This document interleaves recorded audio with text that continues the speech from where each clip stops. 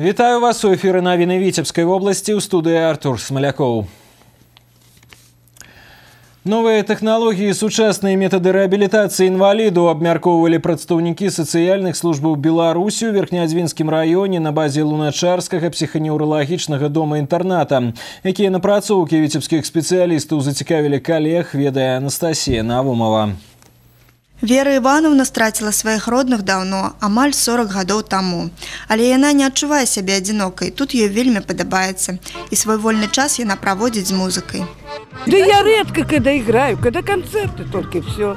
А для себя? А для себя, ну, поиграю там на прогулке. Корабельники, яблочко, теперь это вот теперь играю эту цыганочку, моя любимая самая. Любимы занятак Веры Івановны спецыялісты называюць яшчэ музычнай тэрапіяй, якая, як і любы фізічны занятак, часам не менш, чым медыцынскія працэдуры дапамагае падняць настрой і палепшыць самаадчуванне. Самае галоўнае, каб у жыльцоў гарэлі вочы, падзялілася з намі дырэктар луначарскага псіханеўралагічнага дома інтэрната. Увага з боку работнікаў і штодзённая занятасць падапечных дапамагаюць ім адчуваць сябе здаровымі і актыўнымі. У мінулым годзе, дзякуючы пастаянным заняткам, два чалавекі змаглі аднавіць сваю дзеяздольнасць і вярнуцца да звычайнага жыцця у нас стопроцентная занятость, они работают на подсобном хозяйстве. У нас растениеводческая, животноводческая, овощеводческая бригада, животно, вот, много бригад. Они, э, мы зарабатываем денежку, обеспечиваем себя овощами, обеспечиваем себя молоком. И за эти денежки мы организовываем экскурсии, поездки какие-то до наших проживающих. Для них это огромный стимул. Они работают с удовольствием, они потом отдыхают с удовольствием. Это самое главное. Чарговая нарада Республиканского методичного совета по пытаниях медицинской и психологичной реабилитации рэабілітацыі інвалідаў прайшла ў віцебскай вобласці невыпадкова. У рэгіёне апошнія гады актыўна укараняются новые формы социального обслуговывания. Очень активно внедряется в домах-интернатах такая форма работы, как сопровождаемое проживание, когда э, э, проживающие самостоятельно организуют э, свой быт, э, свое проживание, и только э, один или два э, специалиста, э, скажем так, э, помогает им, присматривает за ними. Невялікая экскурсія па дому інтэрнату дапамагла ўдзельнікам пасяджэння наглядна азнаёміцца з апошнімі рэабілітацыйнымі методыкамі. Новыя падыходы да фізічнай актыўнасці прадэманстраваў гость Масквы, доктар медыцынскіх навук Кірыл Прашчаю. Руки вверх, руки вниз, руки вверх. Видите, уже второй раз и уже сконцентрировали внимание. Если мы тренируемся два раза в неделю на протяжении полугода, мы получаем просто замечательные результаты. У Луначарскім псіханеўралагічным доме-інтэрнаце прадстаўнікі 9 дамоў інтэрната в области падзяліліся з калегамі сваімі методыкамі рэабілітацыі хворых, каб абагульніць новыя метадычныя рэкамендацыі і ўкараніць іх па ўсіх сацыяльным установам нашай рэспублікі. Анастасія Навумова, Дмітрый Котаў, навіны Верхнядзвінскі раён. Заўтра 20 чэрвеня мясцовыя ўлады будуць прымаць званкі ад жыхароў вобласці. На прамую сувязь выйдуць чыноўнікі раённых і гарадскіх выканкамаў, а таксама старшыня віцебскага абласнога савета дэпутатаў Александра Цясаў. Прамая лінія з ім пройдзе з 9 до 12 гадзін па тэлефоне 20 42 60. Код горада 80212. У віцебску на пытанне жыхароў будзе адказваць намеснік старшыні віцебскага гарвыканкама Зінаіда Каралёва. Прамы дыялог пройдзе з 9 до 12 12 гадзін па тэлефоне 36 37 75. Нумары прамых ліній райвыканкамаў можна даведацца на афіцыйным сайце віцебскага аблвыканкама. А сёння ў віцебску ладзілася прамая тэлефонная лінія з начальнікам управлення жыллёва-камунальнай гаспадаркі аблвыканкама, што хвалюе жыхароў і як камунальнікі вырашаюць іх праблемы, ведае Александр Камович. Здравствуйте. Я пенсионер Первомайской жрейта, садовника Василий Иванович. Василь Иванович жыхар Віцебска ўжо другі год не можа дамагчыся вырашэння сваёй праблемы. Паміж паверхамі знасілася шво і пасля моцных дажджоў вільгаць пранікае ў кватэру. На заяву ўжо прыйшоў адказ, што ўсё будзе выпраўлена да 1 верасня 2014. -го. Апошняя надзея прамая лінія ў начальніка абласнога ЖКГ.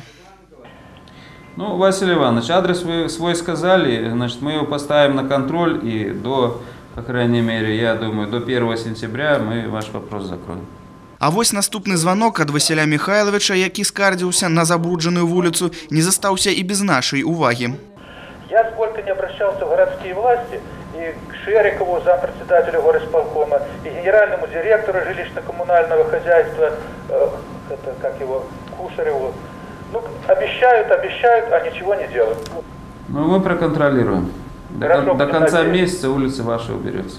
На месцы мы убачили прыбраную вуліцу і некалькі дворнікаў. На жаль, і такія праблемы часам прыходзіцца вырашаць на ўзроўні абласных уладаў. У наших служб, конечно, тоже ну, есть недостатки, хочу сказать. Мы работаем и над качественным составом. С людьми надо в первую очередь, конечно, разговаривать, понимать их проблемы и стараться решать. Не отфутболивать, вот, не писать пустых отписок, а все равно мы должны понимать, что все равно этот человек, он вернется к нам. Поэтому надо стараться максимально решать вопросы сразу. Большасць пытанняў да начальніка абласнога ўправлення жыллёва-камунальнай гаспадаркі гэта прыватызацыя. Также актуальнае пытанне капітальнага рамонту дамоў, кватэр і пад'ездаў. Як адзначалася неаднаразова, такія праблемы могуць вырашацца і на месцах без прыцягнення ўвагі абласных уладаў. Проблемы есть, они остаются, и хотелось бы, чтобы более активно эти проблемы решались на местах. На местах, чтобы людям не приходилось звонить там, в область, в республику и так далее, там, на прямые линии, в министерство. Потому что вопросы простые, их надо все решать. Большасць грамадзян сёння лічыць за лепшае пачакаць і думаюць, што жыллёва-камунальная гаспадарка менавіта абавязана вырашыць іх праблему. Аднак не ўсе разумеюць, за што адказваюць камунальнікі, а якім рамонтам павінны займацца самі жыхары. Лепшы выхад з сітуацыі знайсці кампраміс і працаваць разам. Александр Камович, Александр Прыстаўка, навіны Віцебск. Віцебскія прокуроры падвялі вынікі дзейнасці праваахоўных органаў па барацьбе з карупцыяй. За 5 месяцаў бягучага года ў вобласці выяўлены 127 такіх злачынстваў. Самыя праблемныя сферы сельская гаспадарка і прамысловасць. Уваходзіць у гэты спіс таксама сістэма адукацыі, аховы здароўя. Сярод рэзанансных спраў асноўным факты хабарніцтва. За грошы уладкоўваюцца на працу, здаюць экзамены, атрымліваюць бальнічны і праходзіць аўтамабільны тэхагляд. К сожалению, отмечаю, что не единичный случай выявления фактов коррупции в органах исполнительной власти, в контрольных органах, э, в правоохранительных органах. Такие факты тоже имеются. Получение взяток, за что уже есть и негативные примеры, и осуждения, и привлечения. Мы отмечаем, что в отдельных регионах на протяжении года-двух последних не выявлялись э, преступления коррупционной направленности. И сегодня этому будет дана оценка и будут соответствующие поручения. Сегодня мы в очередной раз сверим часы и скажем, где же мы что не дорабатываем, каким образом необходимо поступить и что нам необходимо сделать в ближайшее время, дабы совершенствоваться. Да крымінальнай адказнасці за карупцыйныя злачынствы і сёлета на віцебшыне прыцягнуты 36 службовых асоб. Матэрыяльная шкода ад іх незаконных дзеянняў склала каля 3 мільярдаў рублёў. А зараз адным радком пра іншыя навіны рэгіёну. Аб'яднаная калегія мытных службаў мытнага саюза пройдзе ў віцебскай вобласці ў верасні. Кіраўнікі службаў дзяржаў пяцёркі абмяркуюць праблемныя пытанні ўзаемадзеяння ведомстваў і ажыццяўлення знешнеэканамічнай дзейнасці. Міністэрства прыроды і аховы навакольнага асяроддзя забараніла аматарскае рыбалоўства на заходняй дзвіне ў раёне будаўніцтва віцебскай ГЭС ад плаціны да месца ўпадзення ракі лужаснянкі. Забарона дзейнічае да 9 красавіка 2017 года.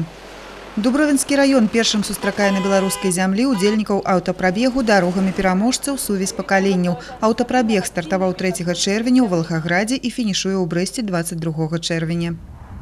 Ва ўсіх раёнах віцебскай вобласці дзейнічае забарона на наведванне лясоў. У выхадныя на тэрыторыі рэгіёну прагназуюцца кароткачасовыя ападкі і высокая пажарная небяспека застаецца. Дзяржаўная лясная ахова працуе ва ўзмоцненым рэжыме. Футбольны клуб Віцебск у чарговай гульні нацыянальнага чэмпіянату прайграў барысаўскаму батэ з лікам 0-4. Зараз віцябляне займаюць перадапошні радок турнірнай табліцы. Тым часам вучэбна-трэніровачныя заняткі па выяўленню хворых на блізкаўсходні каронавірус прайшлі ва ўсіх аэрапортах Беларусі. У віцебску сваю гатоўнасць процістаяць надзвычайнай сітуацыі прадэманстравалі служачыя аэрапорту, супрацоўнікі медыцынскай дапамогі, занальнага і абласнога цэнтраў эпідэміялогіі, гігіены і грамадскага здароўя. Цель данного мероприятия – оценить взаимодействие, подтвердить готовность служб как медицинских, так и немедицинских по системе взаимоинформирования, выявления, своевременного принятия мер по выявлению изоляции больного, организации медицинской помощи. Моя задача как представитель Республиканского центра гигиены и эпидемиологии – это оценить уровень подготовки областных специалистов, областных служб к проведению таких мероприятий, внести какие-либо коррективы при необходимости и оказать консультативно-организационно-методическую помощь. Работники аэропорта дзейнічалі па дзвюх схемах вучэнняў. Калі захварэўшы пассажир знаходзіцца ў самалёце, яго неабходна экстрана лакалізаваць ад іншых людзей ці пры вылеце хворага з аэропорта. Если поступила информация от экипажа воздушного судна о наличии на борту больного, соответственно, через э, органы управления воздушным движением идет сообщение Э, руководству аэропорта, то бишь нам. Потом мы сообщаем своим медикам, и наш здравпункт сообщает э, медицинские, скажем так, органы, городские, областные и по схемам взаимодействия. Ну и принимаются соответствующие меры по локализации, в общем, в соответствии с нашими инструкциями больного.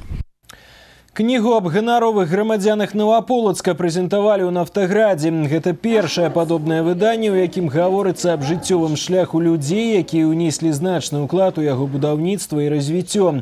Званне ганаровых грамадзянін Новаполацка носіць 34 чалавекі. Іх імёнамі названы гарадскія вуліцы, у іх гонар устаноўлены мемарыяльныя дошкі. Очень приятно будет видеть э, эту книгу тем людям, которые вместе работали с нашими почетными гражданами в то время, которые сейчас э, пересекаются по своей работе, по жизни с этими замечательными людьми.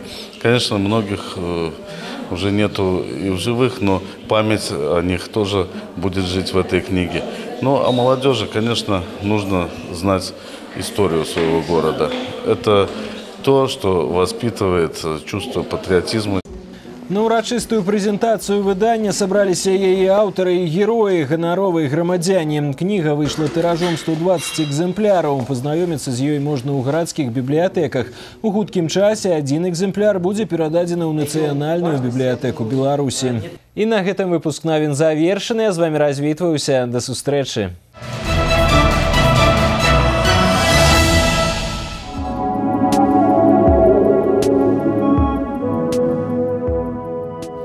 У ближайшие сутки по области чакаецца воблачнае з праясненнямі надвор'я месцамі кароткачасовыя дажджы днём у асобных раёнах магчыма навальніца.